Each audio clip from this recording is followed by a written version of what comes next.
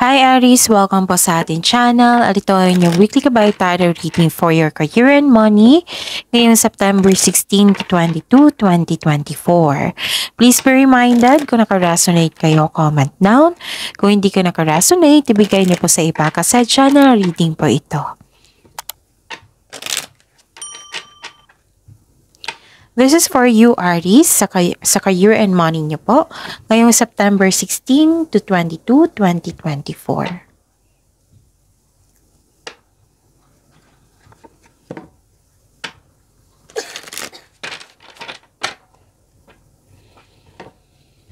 Maraming salamat po sa inyong patuloy na suporta at maraming salamat din po sa mga hindi nag-skip ng ads.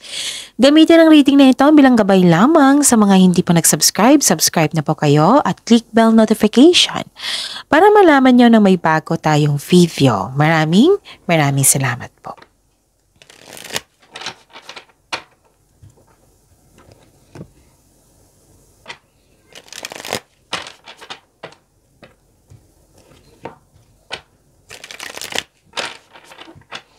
Para po ito sa inyo, Aries, ngayong September 16 to 22, 2024, para sa inyong career and money. Spirits Guide, mga ganap po sa week na ito sa career and money ni Aries, September 16 to 22, 2024. I need 3 cards po.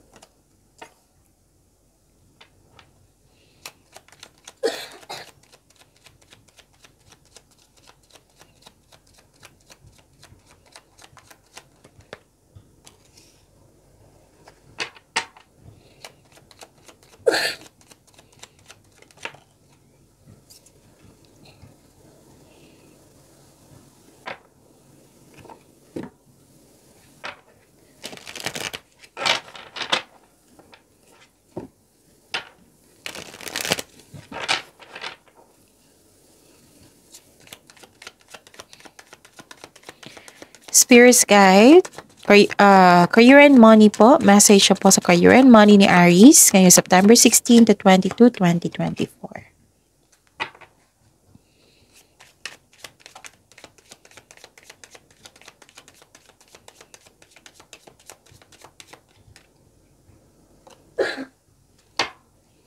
Okay. Aries, ngayong September 16 to 22, 2024, this is for your career and money. Okay. Iwasan yung magalit for this week, ha? Nakikita ko dito na kailangan yung iwas, mag-iwas ng argument. Kasi kung hindi kayo iwas, talagang magkakaroon ng away niyan. Tapos nakikita ko dito may tao kasing parang naninira sa iyo na nag na siyang dahilan na nagkaroon kayo ng blockages or na bother kayo ng dahil sa mga ginagawa niya. So, sabi ng card dito, hanggat maaga pa, iwasan niyo po itong taong ito. Yung iwasan yung magkaroon kayo ng argument kasi siya yung dahilan talaga yung magiging malungkot kayo, ma-stress kayo sa mga ginagawa niya. Kung hindi niyo na iwasan ang uh, mga pangyayaring ito, kailangan yun mag-move forward. I-let go ito. Embrace the fact na may tao talagang ganyan. Tapos, instead na magalit kayo sa kanya, i-pray nyo kasi that is the best thing to do is to pray for yourself, for your emotions. Uh, i-pray mo din siya. Oo, i-pray mo din siya na magiging okay din kayo soon. Ganon. And ingatan nyo din ang pag, ano, uh, pag overspend sa kaperahan Basta ingatan nyo ang kaperahan nyo ngayon for this week. Baka mag-overspend, baka may kumuha, baka may concern sa money na hindi nagbayad sa inyo, ganon. Tapos, iwasan nyo talagang magalit kasi gagawa kayo ng desisyon dito regarding sa inyong passion, regarding sa inyong career and money po. So, gagawa kayo ng desisyon, magkakaroon ng movement, magkakaroon ng transformation, pwedeng transition po ito ha, pwedeng biyahe po ito. Yung matutuloy na yung matagal mo ng plano, matutuloy na yung matagal mo ng desisyon, matutuloy mo na yung yung mga balak mong gawin, like for example, mag-travel, mag-abroad, ganon, matutuloy na. Okay? Yon. And claim this message. Claim nyo agad. Hindi ko pa nabasa pero claim nyo agad.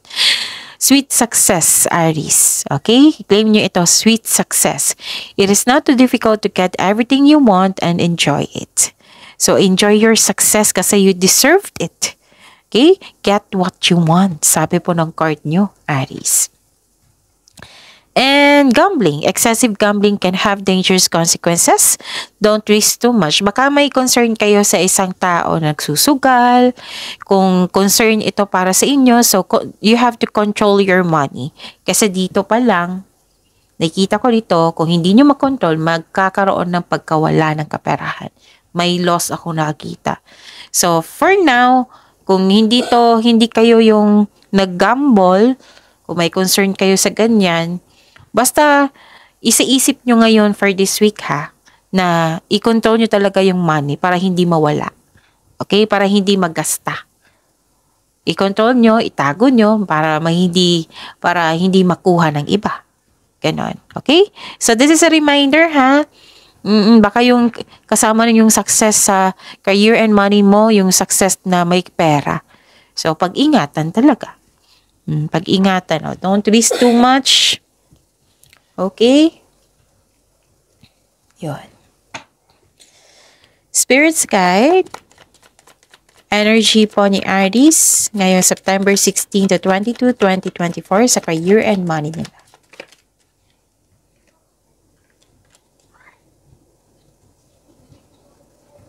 Yung daily reminder ko sa inyo ha, kung may na nood, nanood kayo sa nakaraang video, or dito man may nakita kayong repeating message, kailangan nyo po iyan bigyan ng atensyon. Kung maaari po, bigyan nyo po ng solusyon at aksyon. Hmm. Okay. Ano pa? Hmm, pag-iingat to sa kaperahan eh.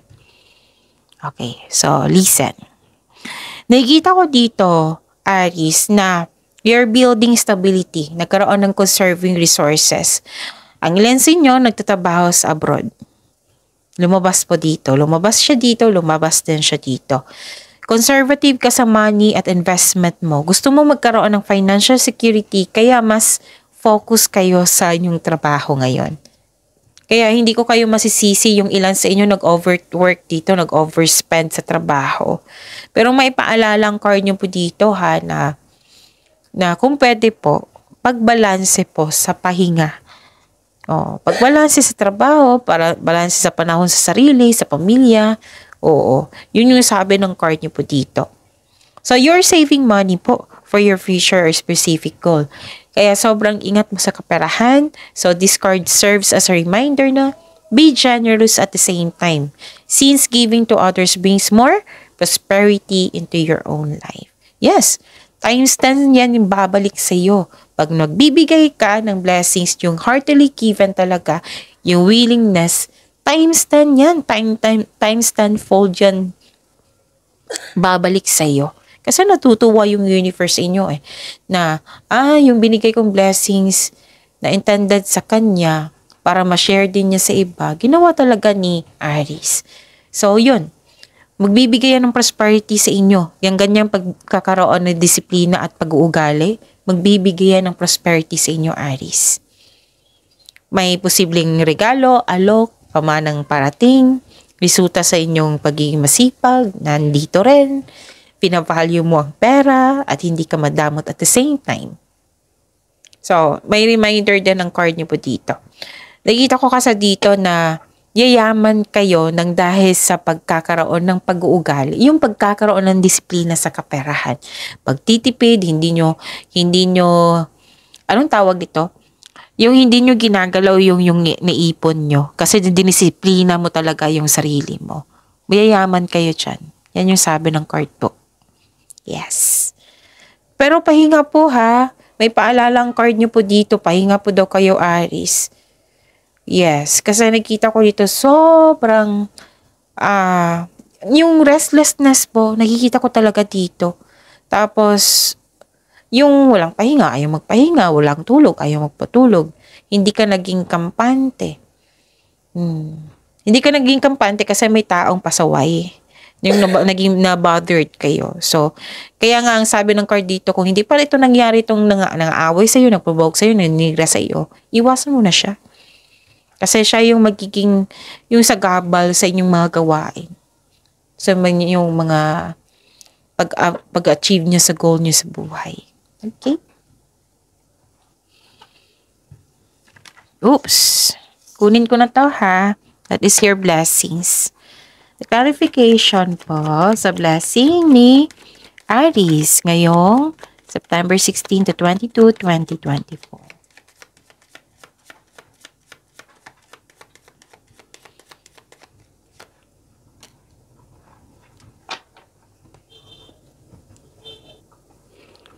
Mm, okay, ang ganda ng blessing po, Aries. Kasi may job offer or opportunity na parating that will excite you and reignite your passion for what you do. Naka-align po to sa passion niyo po. Itong exciting opportunity na darating sa iyo. Actually, ang iba sa inyo do, offer talaga. Okay? Uh, sobrang busy mo ngayon, Aris. Hmm, sobrang busy mo ngayon sa pagpaplano, sa pag iisip ng mga ideas, sa mga ginagawa mo dyan. Okay. So, sobrang busy mo, right? So, ang sabi ng card dito, kailangan yung i-prioritize mo yung task mo na may time management para hindi kayo ma-burnout po. Okay? Para hindi kayo ma-burnout. So, just make sure you can deliver your promises po. Sabi po ng card dito. Kasi magiging busy kayo. Kung magiging busy kayo, kung gusto nyo i-cater or ma-deliver mo yung promises mo, kailangan ng time management. Kahit anumang yung trabaho niyan, kailangan talaga ng time management, Aries.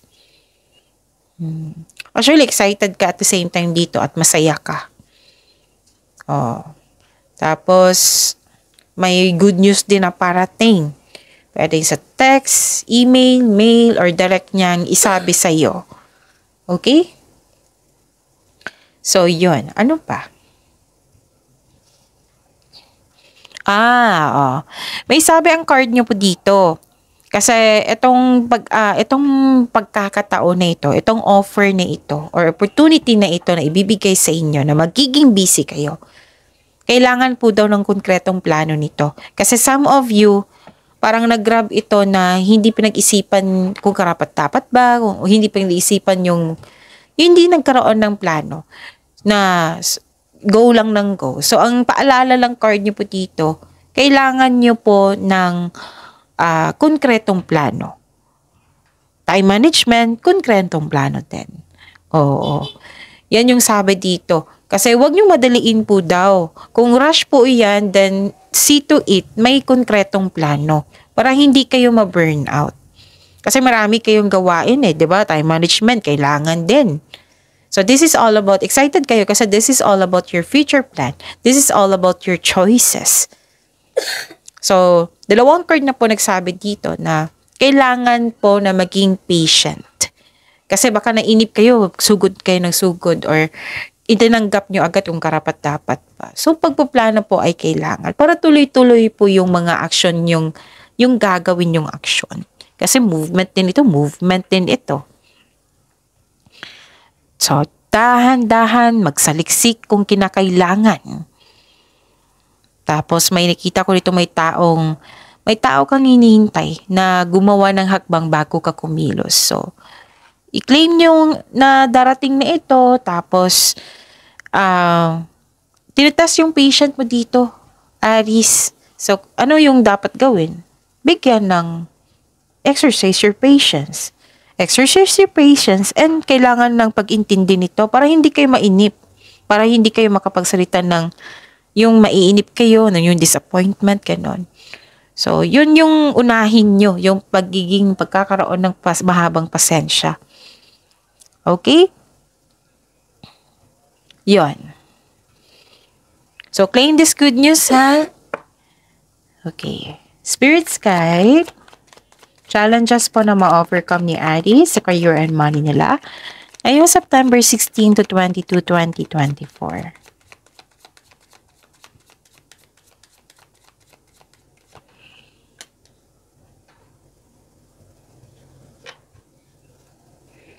The clarification of this card po, challenges na ma-overcome ni Aries. Sa career and money nila. Kunin ko to.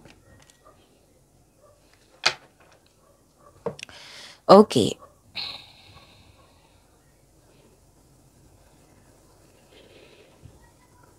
Mm. Ito talaga yung pagsikapan nyo. At least itong challenges na ma-overcome nyo, no, ma-overcome you, right? So, ito yung pagsikapan nyo na mabigyan ng solusyon, yung dapat yung, kung ano dapat yung iwasan, ganon. Okay. Nakikita ko kasi dito na inip, na inip ka. Kaya nga yung sabi ko kanina sa inyo dito na sikapin yung wag kayong mainip na yung makapagsalita kayo na hindi magbuti. I know that is very normal. Pero magsikapan nyo lang po. Kasi, kasi yung, yan yung ma-attract mo eh. Kung negativity yung sasabihin mo or nararamdaman mo, yan yung ma-attract mo. Yan yung mabibigay ng nature sa'yo. Sa, tapos iwasan yung ma-confuse talaga. Okay? Kung pwede po, kailangan ng time for reflection dito. Isa din yan sa dahil, ah, isa din yan sa solusyon na ma-stop yung overthinking na yan. Pagod kayo kasi dito eh. So, hindi maiwasan mag-overthink kayo. Na naguluhan kayo dito. So, iwasan nyo talaga mag-confused. Ah, na-bothered kayo kasi may Again, na-bother kayo kasi may disconnection dito sa isang tao.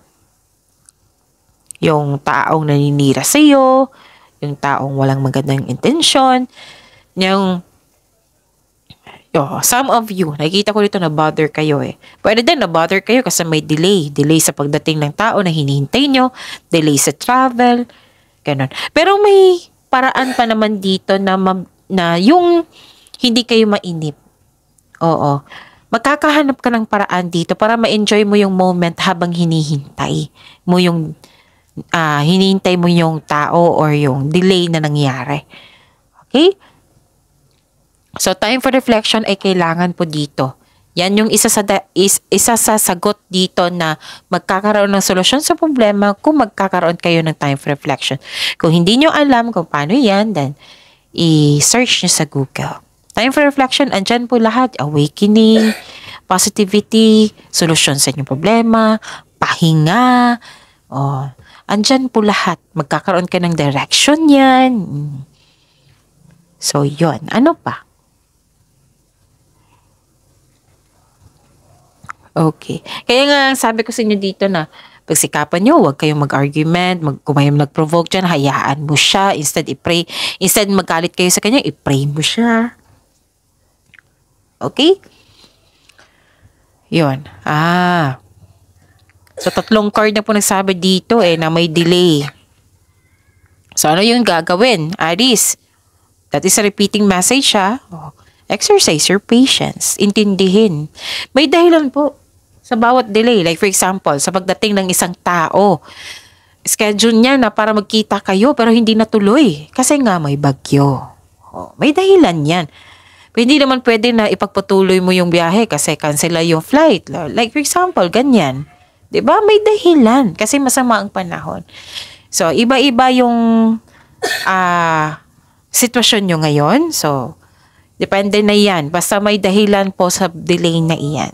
Like for example, delay sa pagdating na opportunity.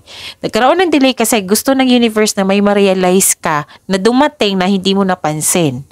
Gusto na, gusto ma-realize ng universe sa iyo na na malaman mo yung yung paraan or mga mga sagot sa inyong mga katanungan para ma-handle mo ng maayos yung pagparating na opportunities. No, may instances na ganyan. Basta lahat ng delay may dahilan po iyan. Pwede din, tinitest yung pasensya mo. Tingnan nga natin kung si Aris, okay na bang pasensya nito? Mataas bang pasensya nito? Okay. So, yun ha. Uh, i-enjoy mo yung process without being so focused sa outcome.